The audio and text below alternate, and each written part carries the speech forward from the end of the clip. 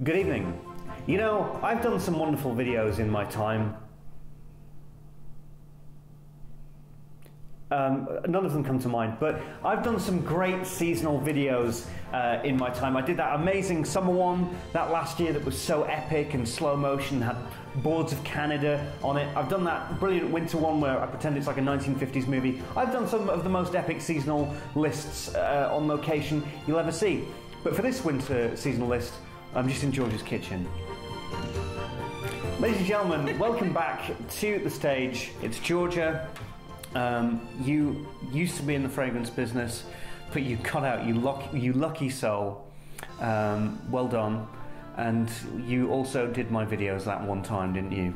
Yeah, you can't call me an expert anymore, though. Now Not an expert. I've been gone no. far too long. no, but some of these you may recognise. Some of these are older fragrances. But today we're doing my top ten winter fragrances. So these are my favourite winter fragrances for 2021 to 2022. Um, and so yeah, this is going to be great. Are you excited? Ecstatic. Good. Well, you better be. Um, right. So we're going to go from ten to one. Um, the first one that you even saw, you said gave you the fear. Yeah. Uh, and so we're going to do it as we usually do. You're going to smell it. You're going to give your priceless, um, meme-worthy reaction, and then you rate it out of ten. So number ten is A City on Fire by Imaginary Authors. I really do like this one. Um, the only problem is that people around me don't like it. Um, now, for, for those of you at home, are like, "Oh, George only shows them uh, the, the he only shows them the opening. He never shows them the dry down." Well, let me tell you, I've heard what you've had to say about me not having the dry down, and today I'm going to ignore you even more, and I'm not going to show her the dry down, just the opening. I can already smell it. It's so far away, and I can It's already amazing. smell it. Ooh. Yeah. So do you know what that reminds me of? Gone. Calamine lotion. Do you know the stuff you put on your chicken pox? Um, I had chicken pox when I was three, Yeah.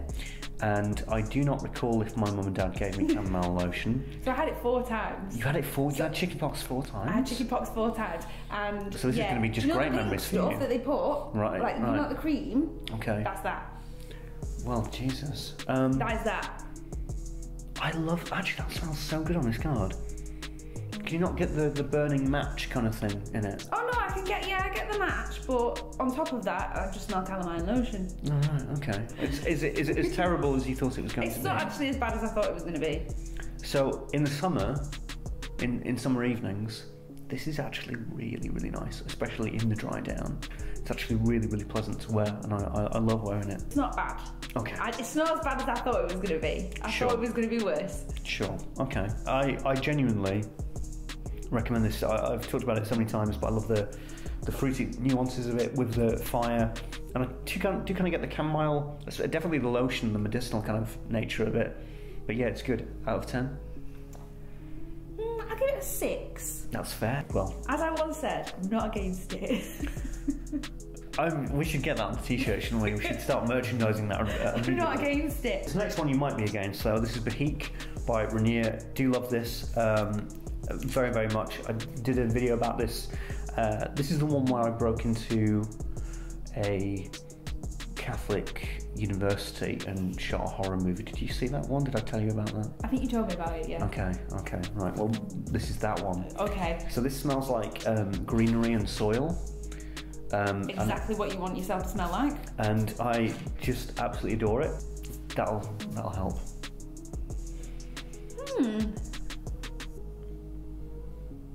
It is very minty. It is is. it meant to be yeah. minty? No, I don't know. I don't know. Maybe it's these cards.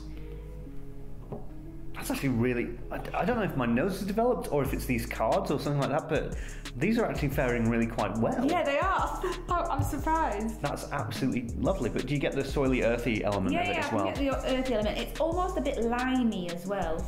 Okay. Okay. That's a okay. You're wrong, but okay. No, it's just when you say limey, I'm like, are you uh, an Irish person calling it English? Because that's what the no, no, Irish no. I used mean to like call. an actual lime. Okay, right, a, li- an actual lime. Okay, lime and mint. Yeah, lime and mint. lime it's like and a mint and mojito. earth, a mojito. That's crazy. Mojito I shouldn't. I shouldn't have broken into a, a Catholic cathedral. I should have just gone to um, the Bahamas. Exactly, lime mojito. Tenerife. I say that's a six too. Different Okay, kind of okay, six. different, a different kind of six. Yeah. So um, I mentioned to Renier that uh, this would be on here, so he's given me a discount code to give to you for all of the Renier fragrances: Kisses Rain, Oud Rain, uh, Bahik, all of my favourites, and a new favourite. So it's 15% discount, and the code is TFA15. And if you put it in the, do you have a coupon code? Um, thing on the website below the fragrance, you'll get 15% off. So cheers, Renier, for that, buddy. This used to, this was actually my number one last year, but now I still love this. I still do love this, but I've had quite a few complaints with me wearing this fragrance by a certain person in particular, might I add, uh, that has put me off wearing this. Um, but I'm intrigued to know. This has got oud. Oh, my fave. This, yeah, absolutely. Now, I just want to point out that some of these I will have to hide from you because I, I presumed that the past last three you, you just didn't know what they were. You, No. you, you didn't recognise the bottle or anything like that. Okay, so I knew that, but some of these I will probably have to hide because you may know what they are. Mm.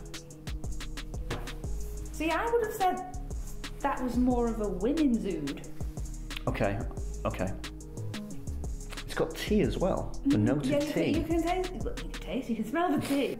You can smell the tea. The tea kind of comes after, but it's quite sweet. So I would have said that was more why don't like you just why don't you spill the tea?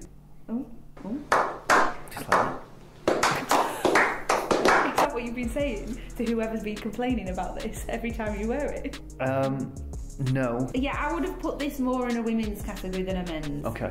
It's it's not a bad oud, No. but it's a feminine oud in my opinion. Um, I think that the oud can be a bit skanky at times, but. I could be skanky at times. No, I said the oud can be Oh, skanky. the oud is skanky. How could you have misin- possibly misinterpreted that? I didn't say, you know, Georgia. Fucking hell. She can be so skanky. Oh, hello, are you here? You know, Hi. uh, yeah, um, no, no. Jesus. No, the oud can be skanky at times. Okay. But yeah, it's good. Out of 10. Seven, because as a women, like a women's fragrance, That's, as a women, as a woman. As a woman. Is that your pronoun? You're a, you're a woman. I'm a women. Right, okay. As a woman's fragrance, Yeah. I would like that. That's okay. Absolutely banging. Oh, so wonderful. I wonder if you can tell me what it is. That's just amazing. I wore this on uh, Christmas Eve, just so damn good. Such a Christmassy scent. Christmassy? Yeah, not Christmassy scent. You think this is Christmassy? uh, very much so. Yeah, I'm well What, on what's, what's giving you Christmas? The ginger and the cinnamon. Oh, I'm on, I'm on the wrong side of the card, that's why.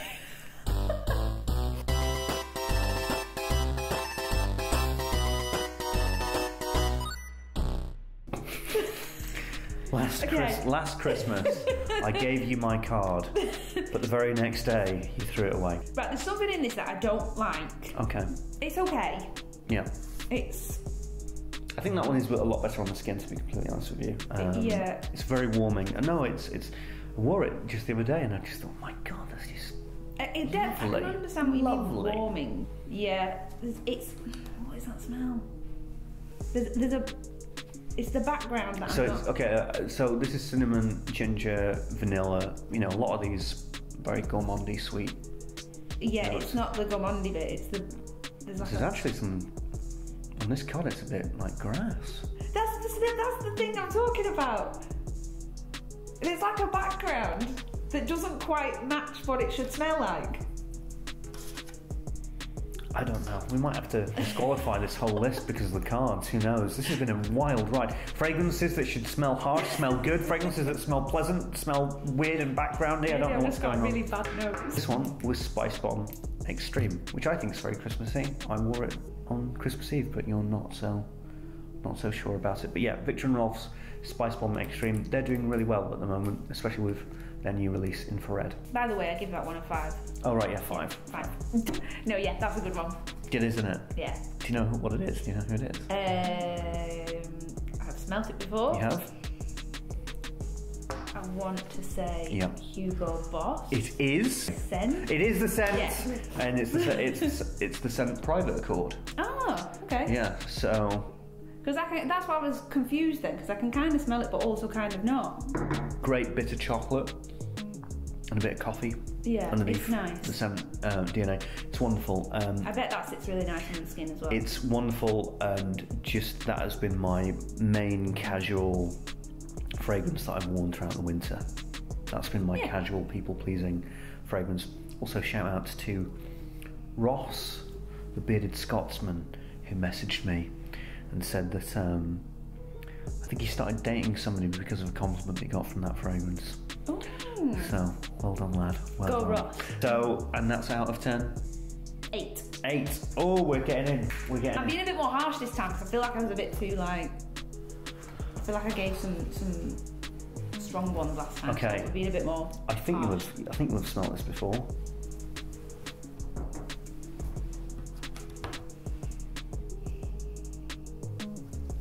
Lemony.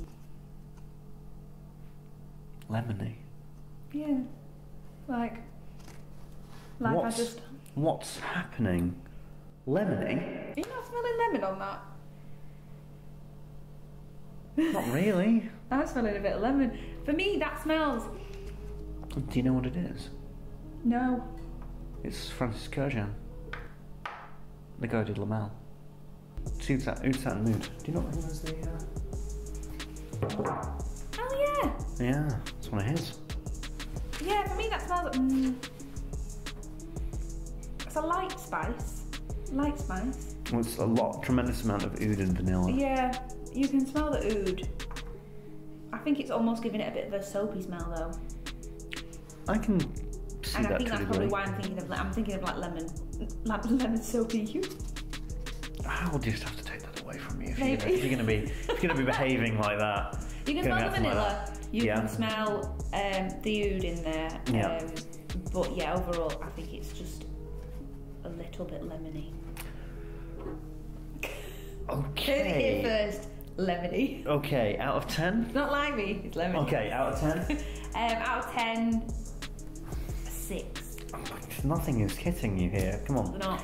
Very intrigued to because this reminds me of something really, really specific. But the, in the in the mood that you're in, this could go any any way, I any think I have a bad direction. nose. Don't take my advice. Don't listen to me.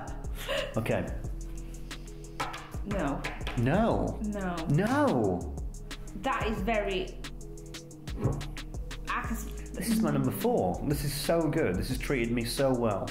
Um, wore this on the 21st when we put the tree up. Um, this was just spellbinding. Love this. Heavy. Very, very, yeah, yeah, Heavy. seriously heavy. I see some people who actually contest that. They say, "Oh, this is a you know not a very strong fragrance." To you, I say, I don't know what Heavy. you're talking about. This is a heavy, rich, lasts forever. I can imagine. I can imagine. Okay, so I'll tell you what this reminds me of. Mm-hmm. When I was a wee lad, and I grew up. Here we go. I grew, I grew up in Scotland. oh, Um, did you grow up in Scotland? yeah. Oh, I didn't know that. How could you not? I'm being sarcastic. I'm very, I'm proud of it. You know, I'm proud. I'm a proud? Scotsman. yes, yeah, yeah, all right. Anyway, um, I kind of knew. when I was a wee lad, in uh, grew up in this old Victorian house, and my parents um, would buy those chocolate um, liqueur sweets. Yes. I know Right. where you're going with this. And I once accidentally like bit into one, and it's that. It is, It's it's like- that. It's like a cognac. It's a cognac, yeah. It's a cognac. Now you've said it. Yes, it's a cognac. But it's like a chocolate covered Yeah, cognac yeah. sweet. Yeah. Okay. Out of ten. Five. That's okay. Straight down the middle. This is my number three. This is brilliant. This is another wonderful thing from Rainier. This is Kakik. Kakik. Kakik. Kakik. That's quite good to say. Kakik. It is fun to say. So this is wonderful. Same guy did the the, the oil, The green one. the, the green one, the green one. Yeah. It's kind of like Spice Bomb meets Bahik in a way. I like that one. Uh, yeah, so it's I a like lot more designery, a lot more brilliant. I think that this is This has been surprising in its wearability. I've really, really enjoyed just wearing it a lot. Um, It's very thoughts? fresh. yes, and it has that fresh spiciness to it. Yeah, fresh spice. Yeah, I like that one. but I also like the depth. Yeah, no, I like that one. Thank you. Yeah, that is great, and it's sophisticated, and there's lots of things going on. Again, um, TFA 15 that takes you 15% off, um, and that's with all the Rainiers, every single Rainier. Um, it's TFA 15 that'll get you 15%. But this one is another great fragrance in the Rainier collection. Now, this next one, That one's getting an 8, by the way. Keep getting an 8. All right, an 8. Good, good. But this one, look at that. Whoa. Look at that. Do you know? Do you know who these bad boys are? N- no. These. Scared to ask, no. Um, they're Xerjoff, and they've been around for a while, but Okay. they're the company that Creed are afraid of. These are the. This is the company that is even niche for Creed. Look, you can That's get a the bad man bottle. It is. I'm really interested with this because this looks kind of like powerful and, and, and masculine and everything, but it, it's actually a little bit feminine. Like going in. no. Uh, to me, that's just jasmine, Yeah. like a lot of floral just- jasmine. Yeah. That's just pure. I think that the only problem is, is that it is missing on the card honey. There's a lot of honey in this, and a bit of tobacco. I can kind of get the honey tobacco now. Right, It's it's missing the spice. right, That's too floral yeah. for what? Well, for like a, Oh, a I like male it fragrance. So- well, I don't know. I like it. I like the I like the candy. There's a bit of sweetness. There's candy. Sweet. There's not enough spice, but there is some candy sweetness there. No, I just smell flowers and honey. It's like a Winnie the Pooh story, isn't it? It is, isn't it? I've been wearing that an egregious amount. The manly man that I am. Out of ten. Six. Oh, Sergio, 400. I'm so sorry. You don't deserve that. We're, we're down to my number one. Ooh. Okay, Wait, that got number two. that's number two. Yeah. That you're calling number two. Yeah, easily, easily. I love this. Yeah. I love this. I've been wearing this so much over winter. Listen, all right, think about it this way. Wearing that, it's freezing cold out. Like, you know, the the coldest of the cold. You wear that, it warms you up, and it's nice and it's pleasant. And, Makes you sneeze. and finally, at least you're honest, though. You are honest. And, and I, I would expect no less. Right. You'll know. You'll know this. Okay. You will know this. Okay. What is it? Forward. Yes. I'll, I'll, I'll, I'll yeah, I'll, all right. It's tobacco vanille. That is my number one. Yeah. Good. Winter. Such good shit. That's a winner. It is. Yeah, it is so damn good. It's good. just vanilla e. I don't. a Bit of licorice. A little, like a tiny amount. No, like if you smell it all together, it smells a bit like licorice, but in a good way. Okay, I know. Actually, I do know what you mean. Yeah. What you're getting is the, the really tangy, zesty yeah, it's like nature, licorice, like yeah. licorice. Okay, Licorice. up to, up to a point. So and I much. don't even like the taste of licorice, but Oh no, this is because it's got the really chocolate as well. It's like licorice and chocolate Yeah, and vanilla. And, yeah, this is uh, my number one. Uh, this has been number one before on my winter list. Um, apologies for the. I took this bottle to Estonia to, to record a review. oh, it's really gone to places now. Yeah, and that is uh, that's what happened to it. It, it got it got beaten up quite bad, but it was worth it. It was a great video. Out of ten, Nine. yes, we did it. Yeah. We did it. Well, of course, I mean, it's, it's a classic. It's almost cheating, really. Um, but there you go. Those were my uh, top 10 fragrances, winter fragrances for 2021 to 2022. Hope you enjoyed it. And if you did, like, subscribe, and you can follow Georgia on Instagram if you so wish. uh, right. I'm the Fragrance Apprentice. This is Georgia. Thanks very much. We'll see you in the next one. Bye. Bye.